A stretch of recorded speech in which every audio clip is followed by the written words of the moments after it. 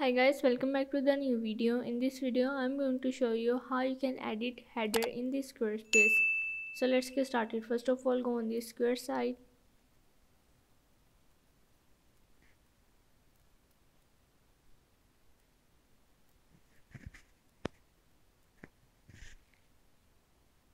Once you are in, you have to go on the edit.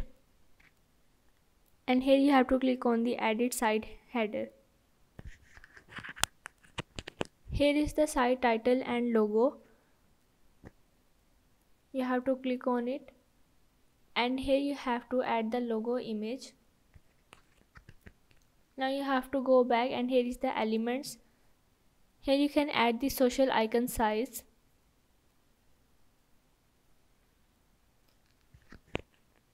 Here is the style or the theme of the header you can change the theme from here.